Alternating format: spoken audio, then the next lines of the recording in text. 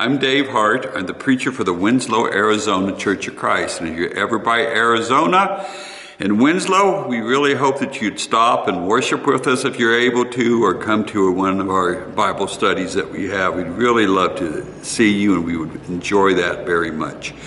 Today, we're going to look at a sermon entitled, entitled What Should a Christian Do? What Should a Christian Do? And of course, if we were going to talk about everything that a Christian should do, it would be a very long sermon, wouldn't it? So we always have to narrow these kind of topics down or have multiple sermons on them, but, but I've, I've narrowed the topic down to look at some the important things, not that all the things that we're supposed to do isn't important, but some of the important things that a Christian is to do. Because sometimes when somebody becomes a Christian, they don't really understand what all that entails, what all that's about. And sometimes even somebody's been a Christian for a long time don't understand some of the things that we're supposed to do as a Christian, or, or we forgot those things, or we need to be reminded of them again. So there again, we're just going to to um, cover a few of the many things that a Christian is to do, um, but they are some of the, the very important things that a Christian is to do. So let's start out with a very familiar passage Galatians 5 22 through 25. Galatians 5 22 through 25.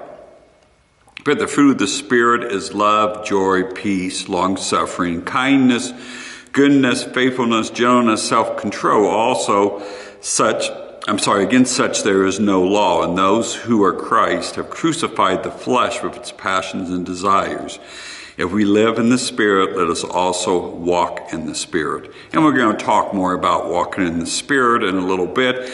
But I kind of want to go over these fruits, these fruits that we are supposed to bear. We're, we're, as Christians, we are to produce something. You know, if you have a good fruit tree, it produces um, good fruit.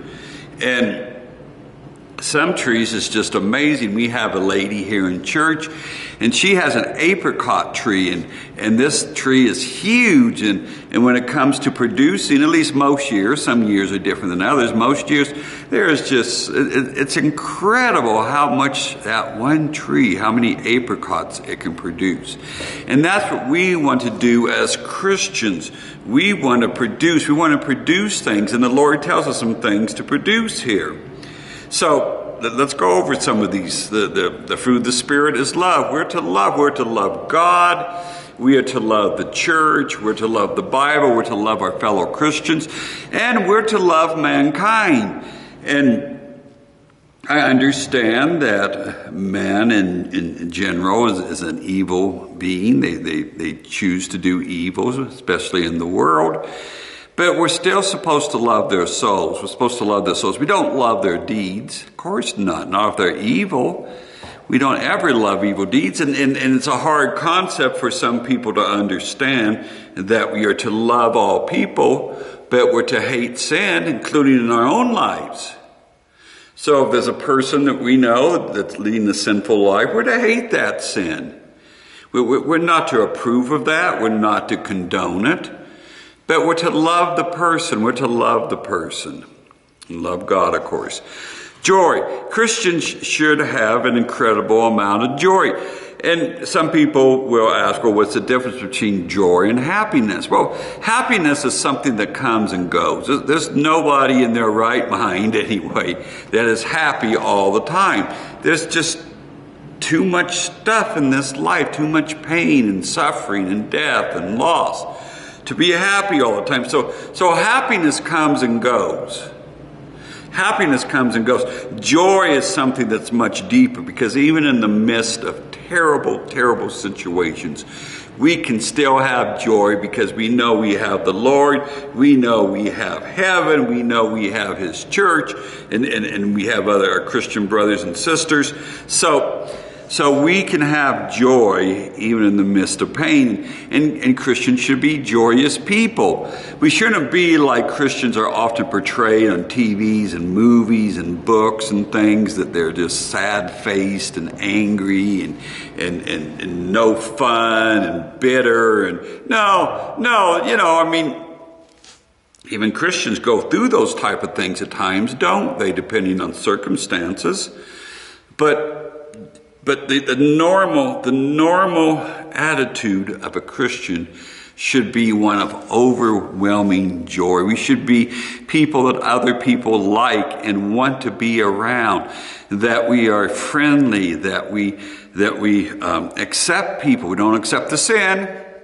We don't accept the sin. We don't condone the sin, but, but we're accepting of people to try and bring them to the Lord if possible. So, so a, a Christian should bear a, the fruit of joy, over, overwhelming joy in their life. And another fruit we're to bear is peace. We're to be peaceful people. We're to be peaceful people. Oh, does that mean that we can't defend ourselves if we need to? No, it doesn't mean that. But in general, we should be peaceful people who seek peace, who try and do everything within their power to cause peace in the world and peace between people. And just think if everybody in the world was a Christian. Just think if everybody in America was a Christian, everybody in your town was a Christian how much more peace we'd have. And you might say, well, sometimes there's not peace in the church because people argue and stuff, and that's sad, and unless it's standing up against false teaching, and that should not be, and people are, are weak at times. But in general, in general, um, the, the kingdom of God is a kingdom of peace. It's a peaceful kingdom. And we need to do all that we can to have peace in our lives, peace in our families, peace in the church, and, and be at peace with others as much as it is up to us. And then the next fruit we're going to look at, this one can be a hard one. Ooh, can be a hard one. Long suffering. Long suffering. What does that mean? It means you suffer long, a long time, a long time. And it can mean a lot of things in our lives. It can mean Um, personal things, health things, relationship things, all kinds of things like that. It can also mean that we suffer along with other people. Maybe there's somebody, for instance, that you're trying to bring to Christ and it takes a long time. You ever had somebody? Oh, I've had people, it's taken a long, long, long time. I've even known people that I've worked with for years to try and bring them to Christ. Years and years and years. And, and, um, uh, there was a couple of people come to my mind from the last church that I worked at, and that's been pretty close to over 20 years ago now. And uh, I can think of two people in there that I really, you know, I really, really cared about. And it, one of them, especially, I spent a lot of time with, and was in Bible studies and Bible studies that I had for years. And both these people I'm thinking of, they were they, they came to the Lord's church. They came to the Church of Christ, but they um, uh, they were not members of the church. They had married people who were members, and that's the reason they came. So I worked with these people and worked and worked and worked, and and one was a younger girl, and the other one was an older man, and.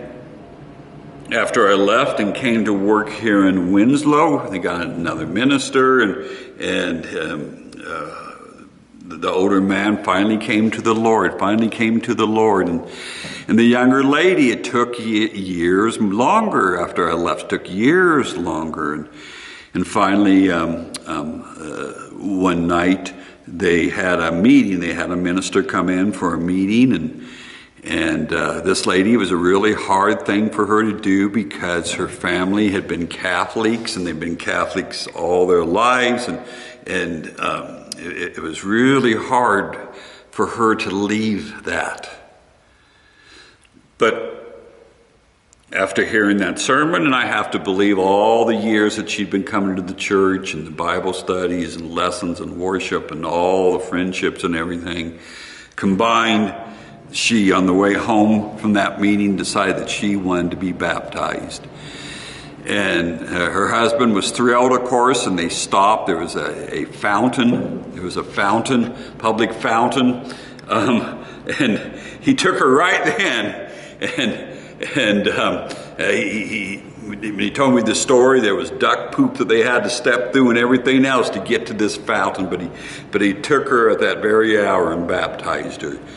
but it was some long, sorry, it was a long time. And sometimes we got to work very long with people.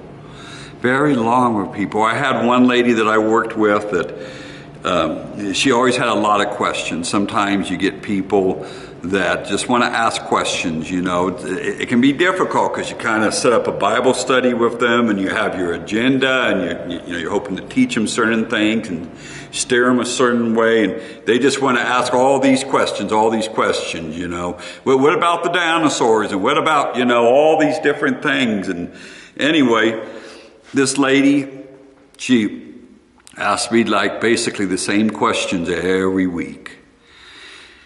And I kind of have to put, put my agenda aside because she, she just really wanted to know the answers of these questions. And, and, and like I said, it was, it was going over the same thing every week, every week, explaining it to her again. And, and uh, she had a heavy influence from, from some Pentecostalism. And, and, you know, she was really into the, you know, why, why are there not miracles now? Why do you say there's not miracles and talking in tongues? And, and every week we'd have to kind of go back over this again.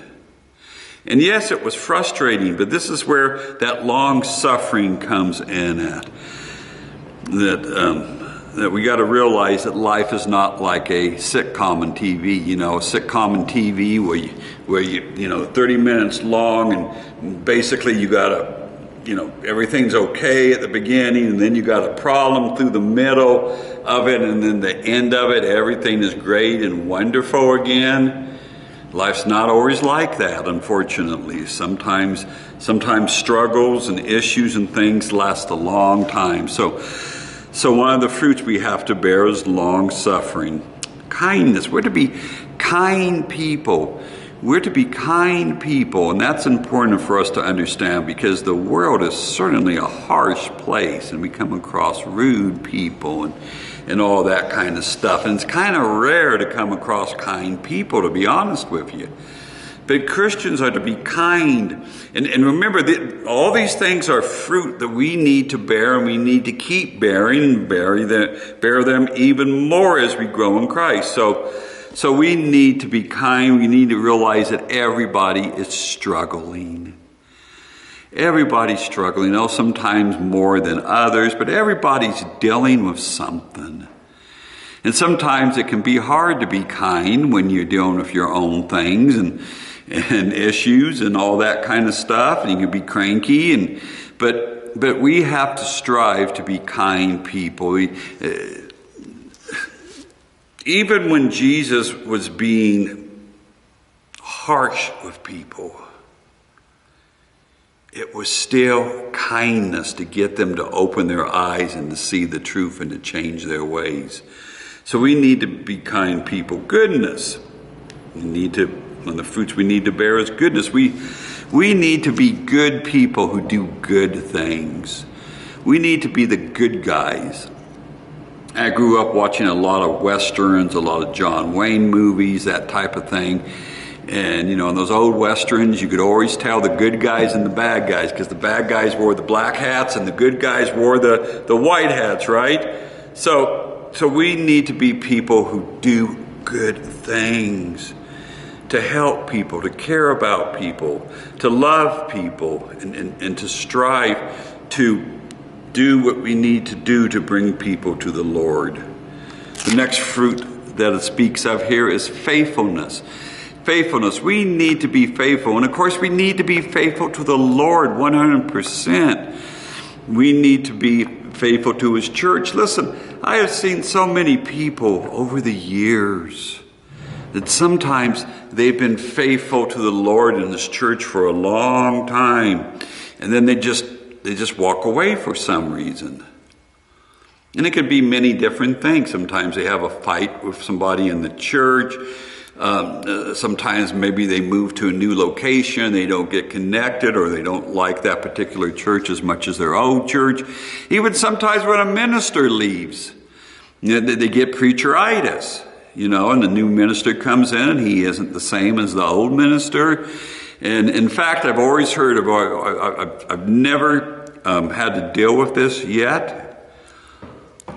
when I came here to Winslow, they had actually been without a minister. I think they said five, seven years before I, I came here.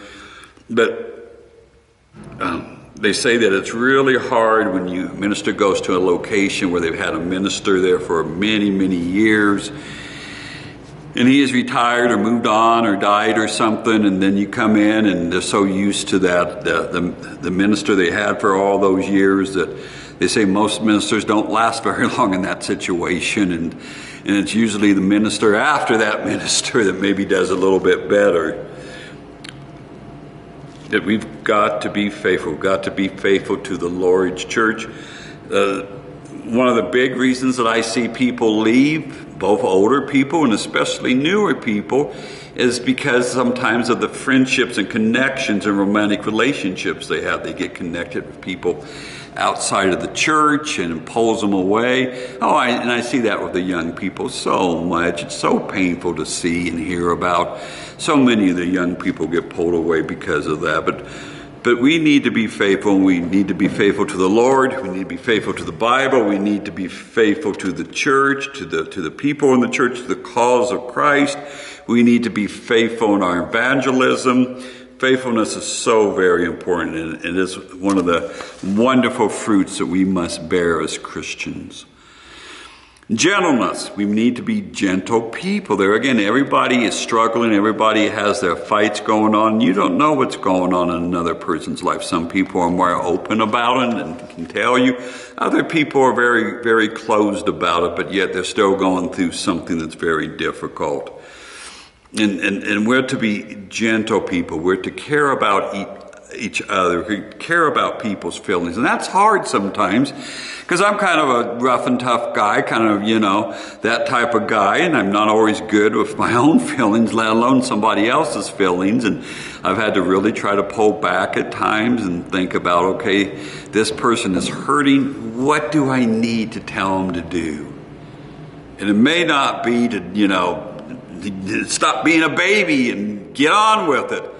That, that, that doesn't work with some people. Sometimes we got to be gentle with them.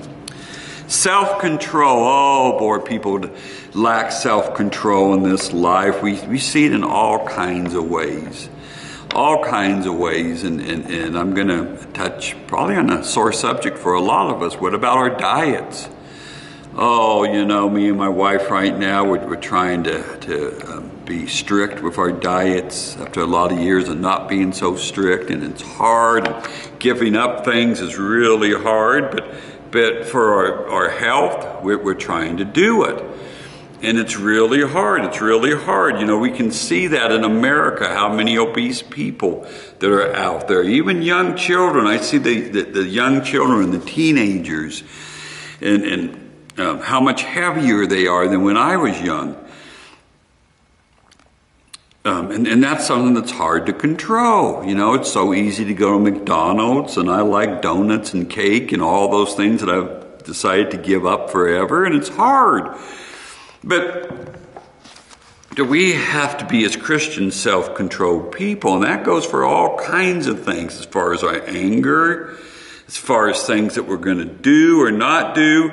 We have to, what, what does self control mean? It means to control yourself. To control yourself. Don't let your lust, your passions, your desires, your emotions control you.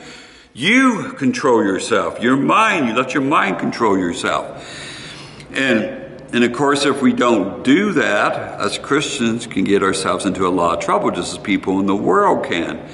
So we need to be people who practice self control. The text says, Against such there is no law. There is no law against these things. In other words, in other words, these are all things that a Christian is to do. In verse 24 says, And those who are Christ have crucified the flesh with its passions and desires. Oh, that's hard. That's hard.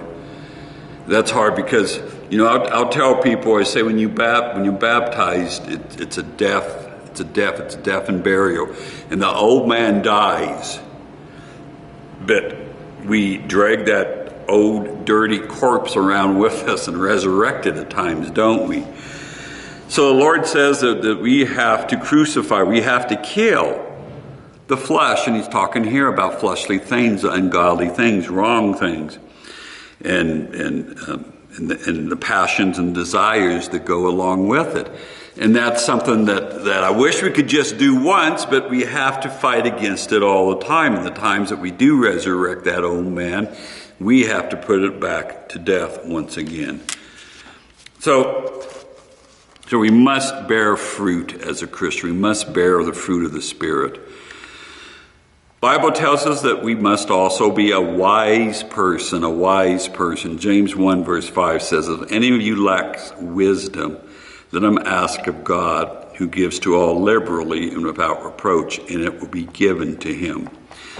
So, we have to go beyond knowledge into wisdom. And what's the difference between knowledge and wisdom? Well, it starts with knowledge. You got to know knowledge before you, you, you have wisdom.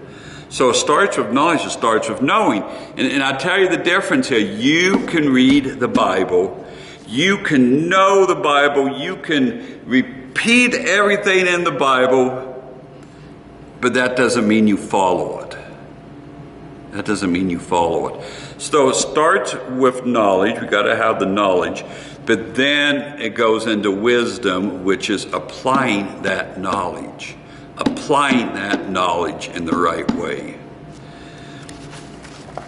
So when we read the Bible, it's just not to know the Bible, as important as that is, and as much as it has to start there, we have to know the Bible, but then we have to apply it. We have to apply it. So Christians should all be wise people. Why? Because there again, we we should know what the Bible is says, and then we should know how to apply it to our lives but also to help others when they come with questions. Oh, how many people make so many mistakes because they get the wrong advice. They get the wrong advice. You know, and, and we can think about all kinds of things drugs, you know, alcohol, cigarettes. It's a funny thing about sin because a lot of sin, a lot of sin that we do, we do it because we got some wrong advice. Oh, here, try this. When I was a young person, you know, they wanted me to try this and they wanted me to try that. And I remember the first time that I chewed tobacco, it was, I believe, in the third grade. And and several of the boys, you know, were chewing tobacco, and it seemed like oh, the macho thing to do, and and and you know, and I wanted to try it, and finally they gave me some, and and um, you know, same thing of puffing on a cigarette or any of those things. I, I had some older relatives that wanted to put alcohol. They wanted me to drink alcohol. They were giving me some bad advice. Bad advice. As Christians, we need to give people good advice. We need to be wise. When people come to us, it should be because they seek our wisdom, because our wisdom comes from the Bible. Over the years, over the years, I used to call the one of the, the, the um, head people at World Video Bible School. I don't know how many times over the years, I mean, not all the time, but but you know, several times over the years, I'd call and I wanted to talk to the to the guy kind of overseed the whole thing at World Video Bible School. Why? Because I considered him a very wise man, and I appreciated his wisdom. And he helped me out at times immensely, and he's passed on now. And, and, and, and though I've never met him in person, I miss him. He was a wise man who gave wise advice because his advice came from the Bible and years and years and years of study and growing in knowledge and wisdom. So, one of the things that a Christian should do and should be is a wise person, and the way we become wise is by studying the Bible, knowing the Bible, in knowing how to apply the Bible both in our life and in the lives of others who may come to us for advice and wisdom.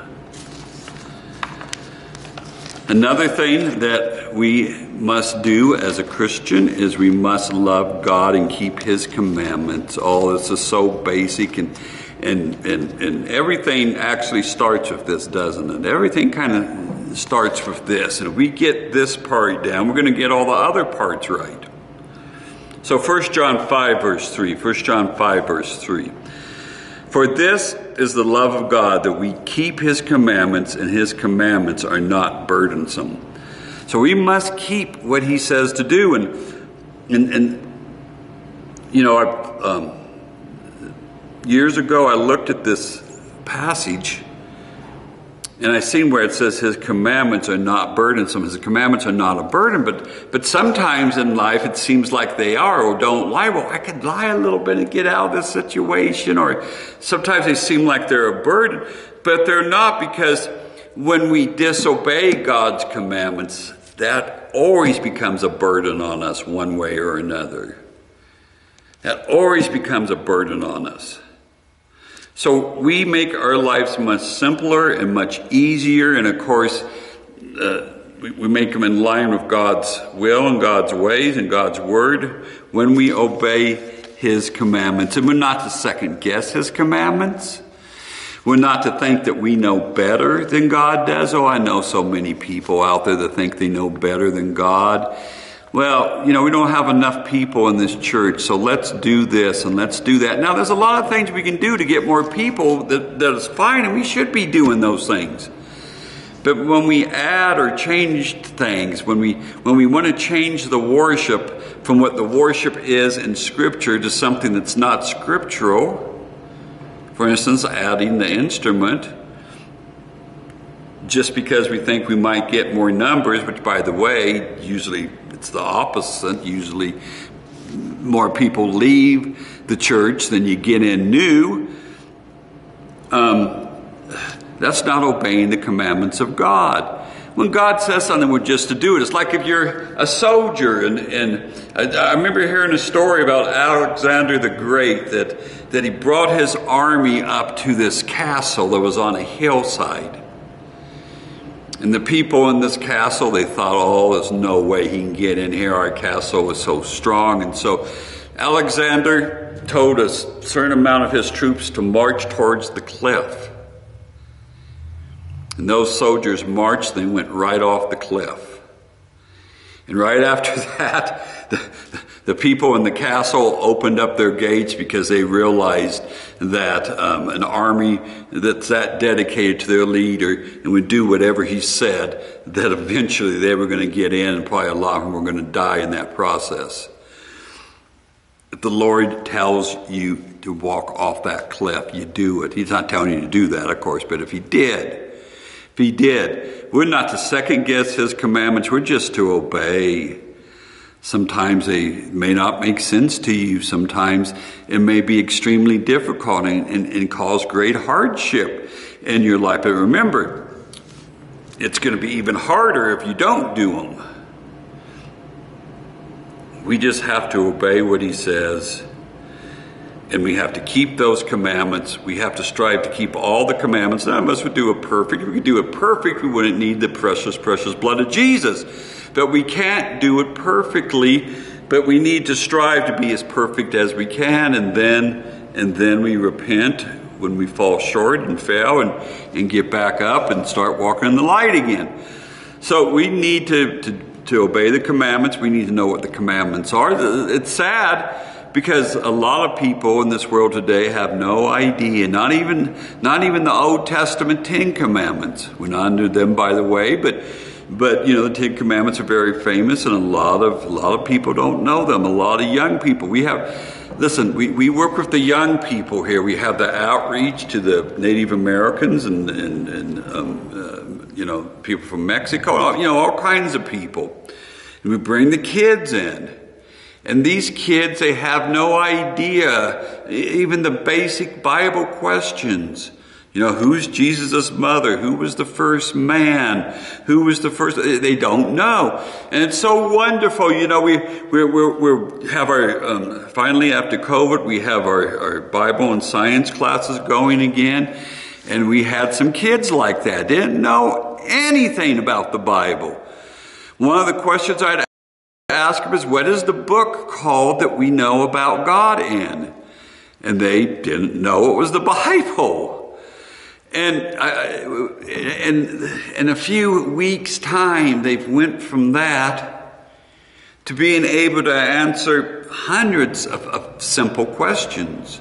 Now we got to go beyond that. They got to understand, you know, uh, more about the story and all that. But but they're learning about the Bible. They're learning to answer Bible questions. They're, they're learning who the first man was, who the first woman was. They, they're learning uh, about the garden. Boy, none of them knew the Garden of Eden. And, and as they were learning this, and I'd ask, what garden uh, did Adam and Eve live in? And boy, they, they, I got all kinds of different names. And and um, uh, but but now they, uh, I think they all can answer that one. So we got to know the Bible to know the commandments, and then, as I said, we got to use wisdom and obey those commandments. Obey those commandments. We must do what the Bible says to do. James 1, verse 22 Be doers of the word and not hearers only, deceiving yourselves. Deceiving yourselves. So, there again, I've, I know of people that know the Bible, read the Bible, people who've studied the Bible, but they don't do what it says. They don't obey it. They don't obey it. And, and, and sometimes it's frustrating. You know, I've given sermons, for instance, about how we need to be at the assemblings of the church. That means all the assembly. When the, when, when, when the leaders of the church say this is when the church needs to be here for Bible study or for worship service, unless a member is providentially not able to come, they are required to come. It is a command of God. And it's frustrating um, because here, like probably a lot of churches out there, we have a morning and evening service, and I think that's important because uh, there's usually people in every church that, at least a few, that that um, you know, are working or something in the morning and they can't come. So, so the evening's open for them, but it's, it is a requirement for everybody to be back. And, and most churches, now here sometimes it's different because we work with the kids and a lot of times we can't get the kids up necessarily to come to morning service. So, so we at times have more in the evening service. But a lot of times in a lot of churches, you have maybe twice as many, three times as many in the morning as you do in the evening service. And we had a lady here in the church, and she was in her 90s, a very lovely lady. She never missed anything unless it was something that she providentially wasn't able to come to. And I would, would give a sermon about the importance of coming back on Sunday night. And Sunday night, we just had the basic same crowd, and she'd come up to me because they weren't listening, were they? We need to obey the commands. We need to know and we need to do what the Bible says. Not just listen, not just hear, not just read, but we need to do it. If, if we don't, we're deceiving ourselves. It's possible to be at every church service your whole life, listen to all those sermons, listen to all those songs, which teach too, by the way. They, they better, or we need to stop singing it. Possible to, to, to be at every Bible study the church offers, hear all that information, get that knowledge, and not do what it says. Not do what it says. So, when you hear a sermon, you need to listen. You need to take things away from it. You need to study your Bible for yourself to be sure that sermon's correct. And then you need to obey what it says. And you need to study your Bibles on your own, as families, in, Bible studies. Watch them on, on the internet. You know, we, we live in such a blessed age. You can go on, for instance, YouTube, and you can get thousands of good scholarly sermons from Churches of Christ and World Video Bible School and Heart to Heart, House to House, and and um, uh, Gospel Broadcasting Network, and, and, and, and many others, many others that are out there. And we need to be careful students of the word. Learn what it says and then obey what it says. Another thing that the Bible says that we must do as Christians is we must confess our trespasses to one another and we must pray for one another. James 5, verse 16 says, Confess your trespasses to one another and pray for one another, that you may be healed. The effective, fervent prayer of a righteous man avails much. So, people have asked me from this passage, does this mean we need to confess everything that we've done to everybody? We need to go in front of the church every Sunday and say, yeah, you know, um, this girl was walked by and I had a bad thought and then, and then I got angry with my brother in my mind. And no, it's not saying that. It's saying that, that if you have done something against somebody in the church, if you, maybe you've stole $10 from somebody in the church, you need to go confess your trespasses to them. To them. Um, and, and, and, the whole church doesn't need to know. When you come, when you come, by the way, when you come up and you confess to the church things that you've done, when it becomes public knowledge, when you've done something that, that enough of the public knows that, it, that has become common knowledge in the church or outside the church, even, and, and, and you need to confess that.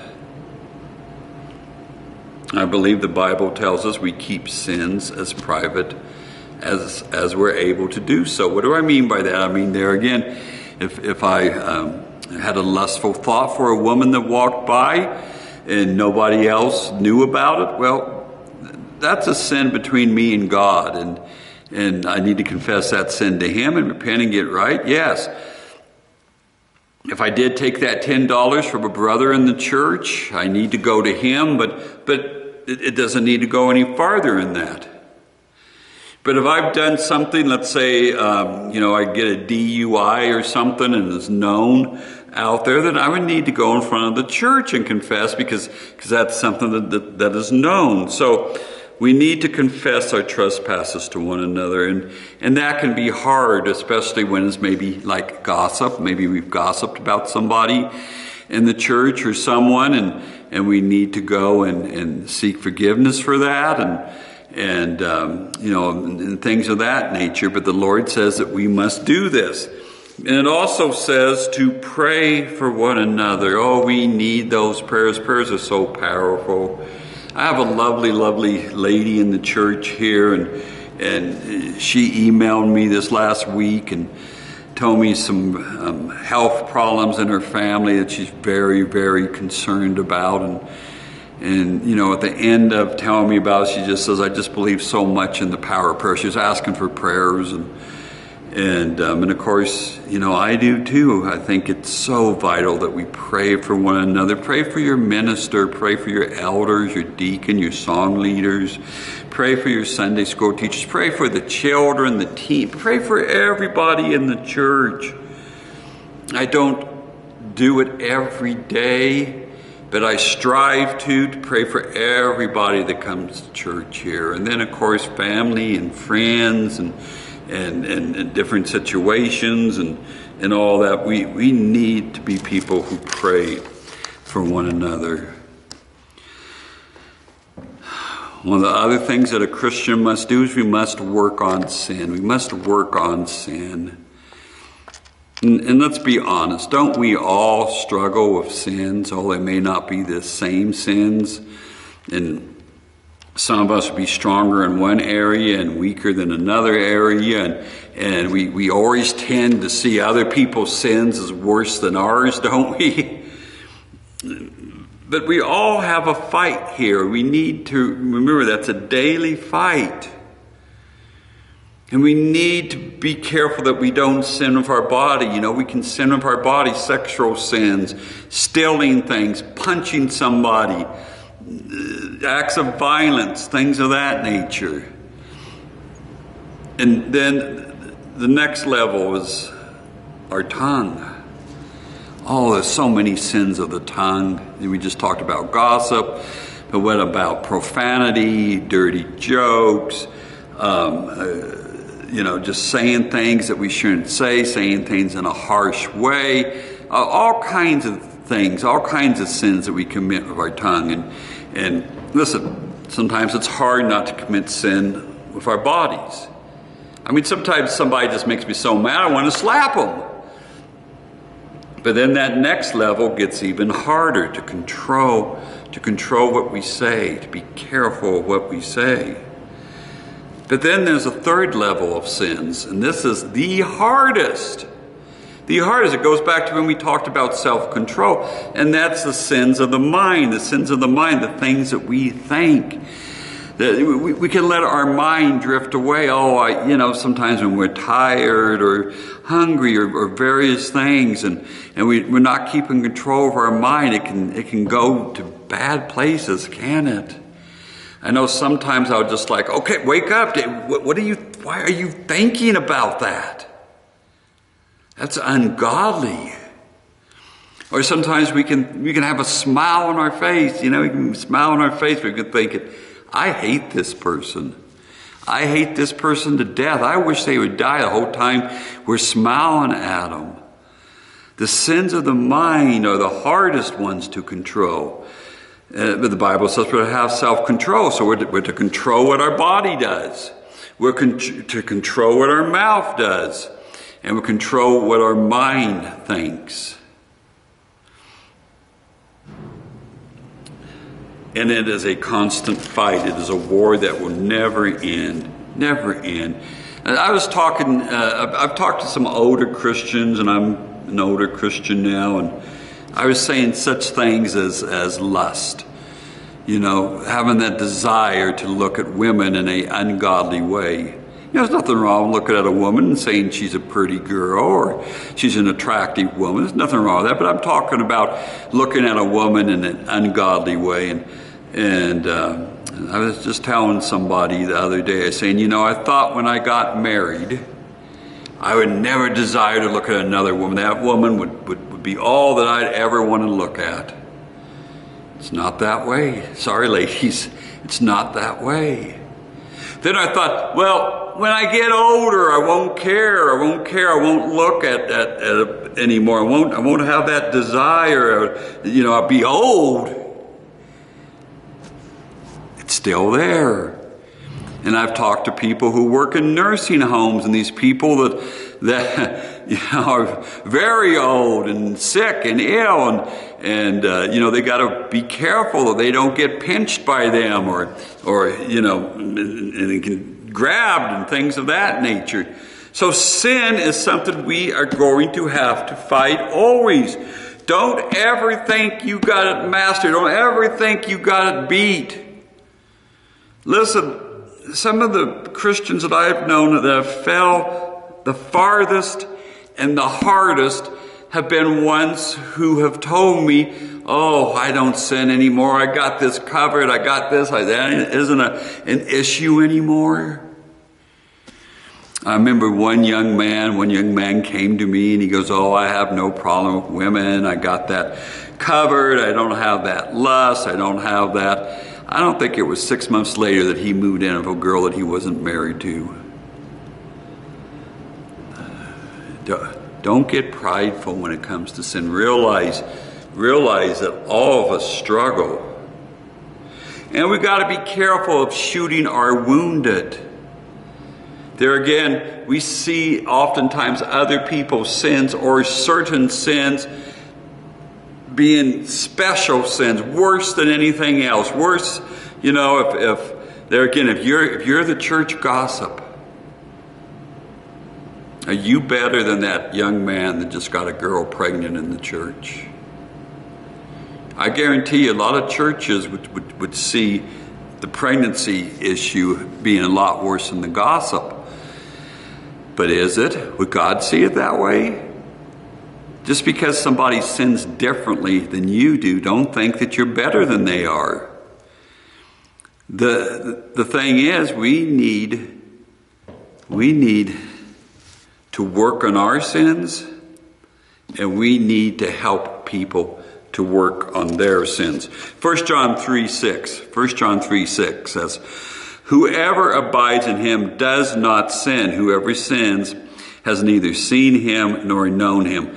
So gonna, this is not saying that you're never going to sin, but it's saying that you don't stay in that sin. You don't keep sinning. You don't walk in that sin. You deal with it. You struggle with it. You, you have the Lord come alongside you. Maybe you need some brothers and sisters in Christ to come alongside you. But you don't live in that sin anymore. Oh, sometimes we get caught up in things. I've had, you know, a big thing is pornography. A big thing is pornography. I just had a young man write to me the other night about how his parents' generation, to, to, to look at pornography, you had to, um, you know, go to a, a shady store and, and, buy it in magazine form and, and uh, you know, and that. But now, but now you can, you can just find it on the internet quickly quickly. I, I, just seen something and I posted it. Uh, I posted a couple of times on ministry pages on Facebook and talked about giving your teenage boy a cell phone. When you give your teenage boys, and I know that some of you may not like this,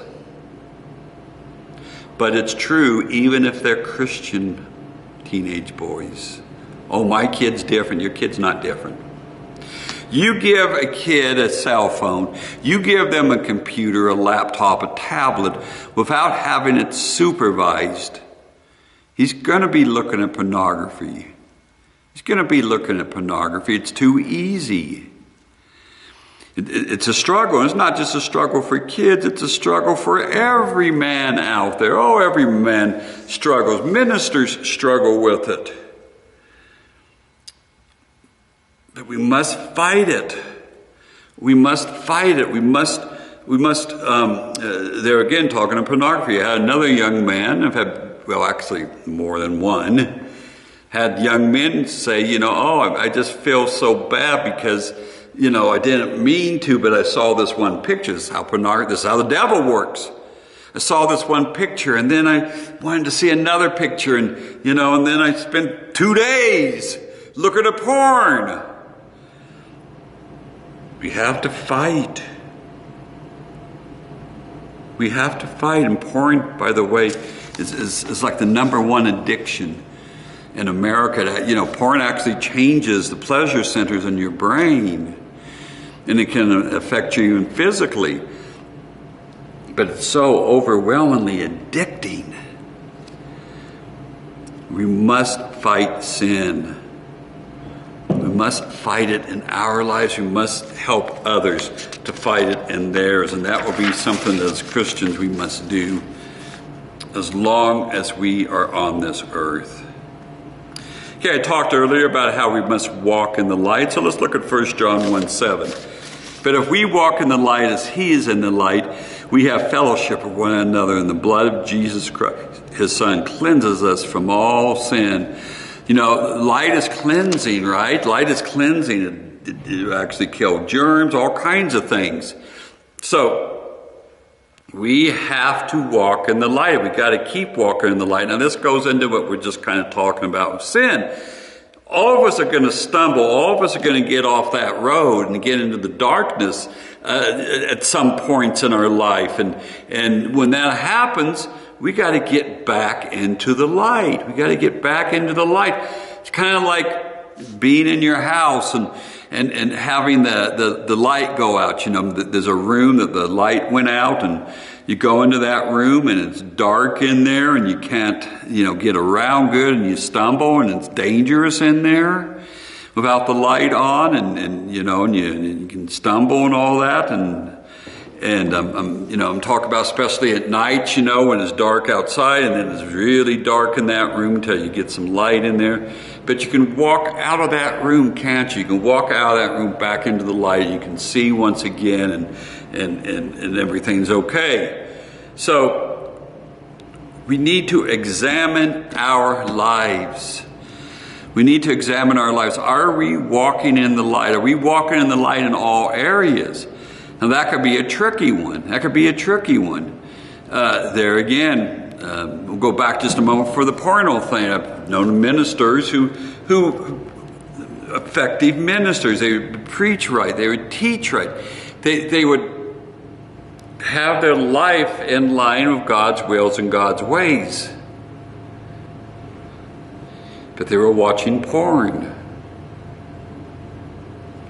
So, yeah, for, for the most part, they were walking in the light, but they had that one darkness there that they need to come out of, they need to come away from. Same thing of everything that's sinful in life, drinking and drugs and, and so many things, so many things. We got to examine our lives. And, and, sometimes we can say, "Oh, I'm pretty good. You know, I give a whole bunch of money to church. I'm in a worship service, and the, you know, and that's wonderful. Those things are wonderful. We need to be doing those things. It would be wrong not to do those things." But we need to examine every area of our life. We need to take a flashlight into those dirty, dusty corners that sometimes we don't even like to think about, that we don't want to deal with, that, that, that, that are going to be difficult to shine the light on.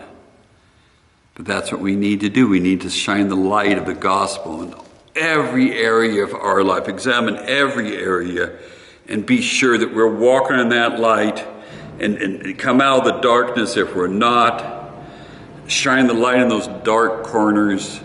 In those times when we trip and we fall into the darkness, we need to get out of there because just like a, a, really dark place, you, you know,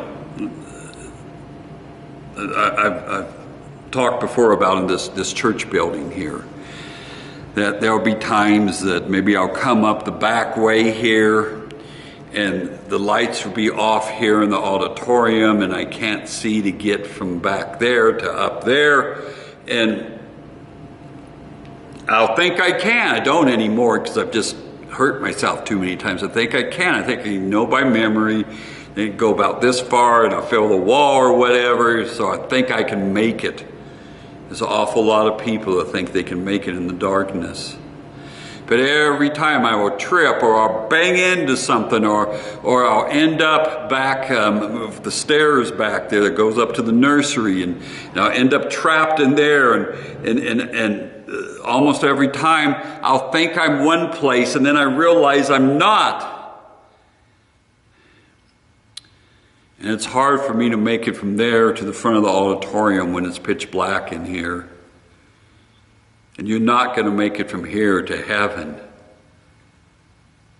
if it's pitch black in your life and it's dangerous. It's dangerous, and the longer you stay in that darkness, the more danger um, it entails. The last thing I want us to look at today, what a Christian should do, is um, is we must know how to conduct ourselves in the church. We must know how to conduct ourselves in the church. Remember, the church is not the building, the church is the people, right? We're the church. But when God talks of the church, He's talking of us together as a group. When we come together, church, uh, you know, ecclesia in the Bible is the called out and the called to. So we're called out and we're called to be the church. And one of the things that we have to do is we have to know how to conduct ourselves. What are the things that we, we need to do in the church? And um, 1 Timothy 3.15, 1 Timothy 3.15, remember this is Paul telling Timothy, a young preacher, trying to teach him what he needs to do as the minister at the church. Paul says, But if I am delayed, I write to you that you may know how you ought to conduct yourself in the house of God, which is the church of the living God, the pillar and ground of the truth. So remember, Leviticus in the Old Testament was written to priests, of, what priests were supposed to do, and the law and all that. And First, Second Timothy, and Titus in the New Testament is written to preachers and, and, and, and, leaders in the church to know how they are to do in the church and to conduct things and the law of God and all that. So, what are the things that, that are involved with the church? Oh, there's so much. People don't realize how much.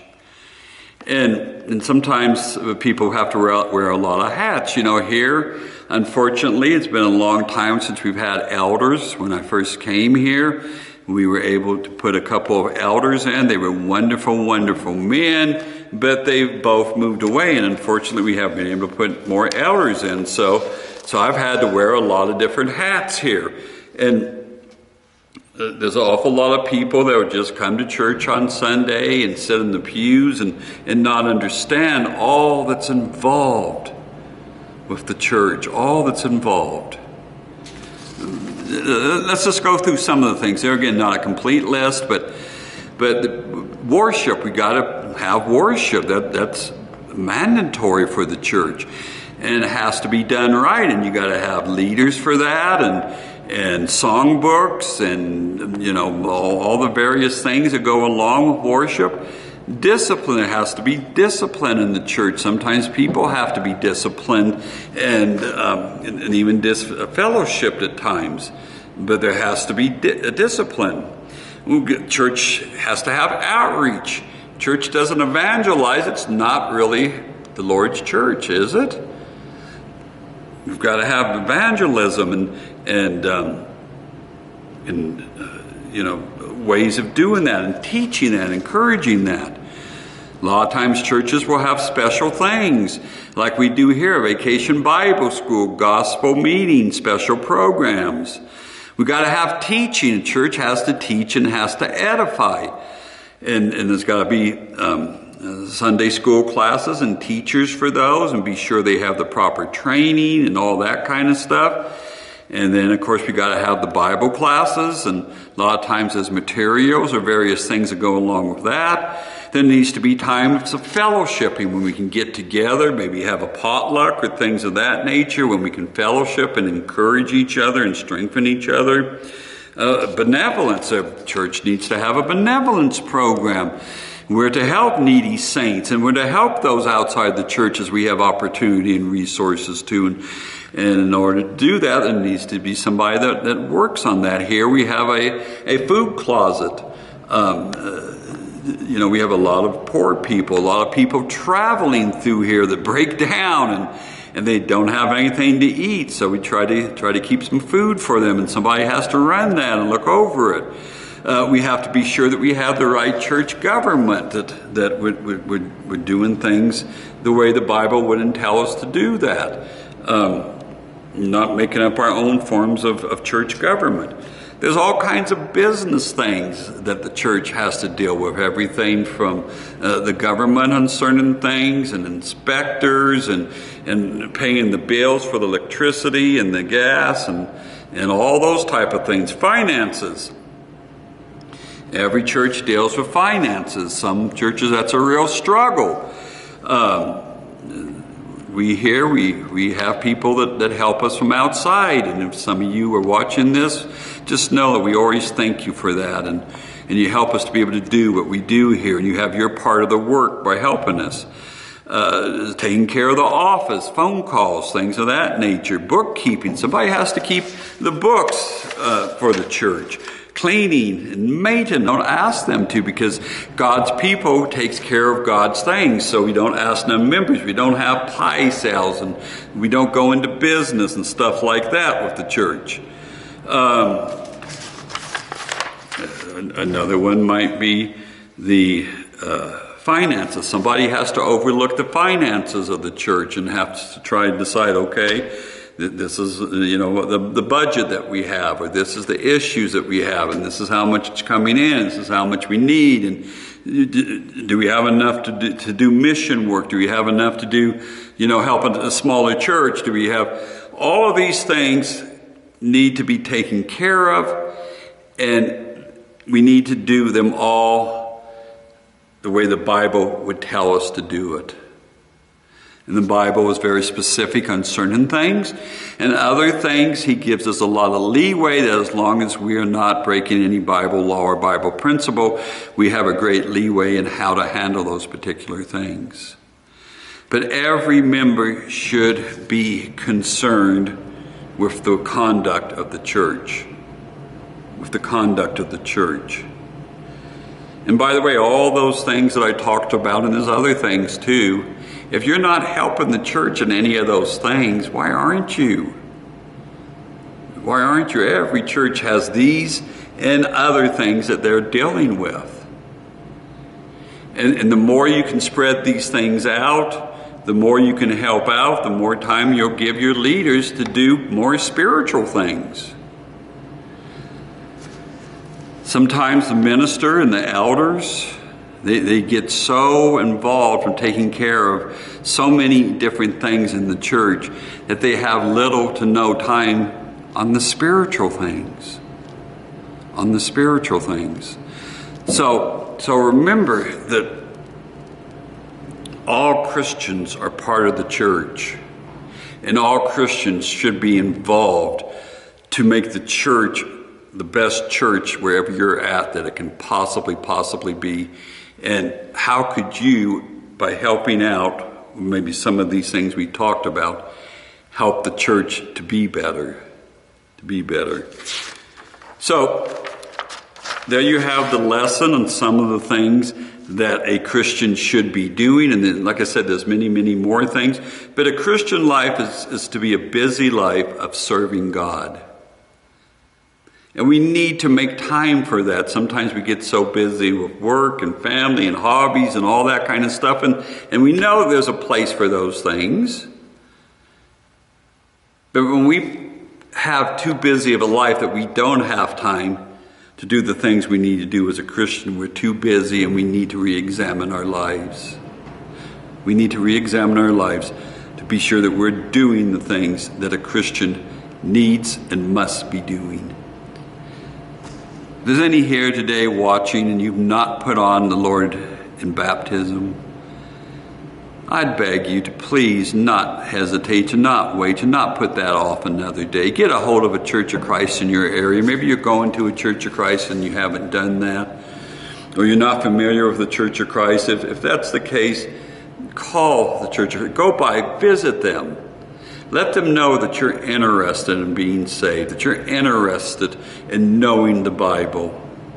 And remember, to be saved, you got to hear the Word of God. You got to hear it. You've heard it through this sermon today. You've got to hear it, read it, and then you got to believe it. You got to have faith. You got to have faith. Faith. And then the Bible says that we have to repent. We have to turn from our sins, be sorry for our sins, turn away from them. And then we have to confess Jesus is the Son of God, and then we have to be baptized to wash our sins away. At that point, the Lord puts you into His church, and then we must remain faithful unto death. If you haven't done those things, please get a hold of a Church of Christ and talk to them about it. They can show you in the Bible, and they will show you by the Bible that what I said is what we need to do in order to be saved. So please don't hesitate please call a Church of Christ. Go by and visit them this week, today. If you're using this video, maybe you're shut in or providentially can't be at worship service this week. Um, please don't forget the other acts of worship to take the Lord's Supper, sing psalms, hymns, and spiritual songs to the Lord, to have a time of prayer, and to give an offering to the Lord's church. I want to thank you for watching today. And if you found this video helpful, please share it with others and I hope that you have a great week and God bless you.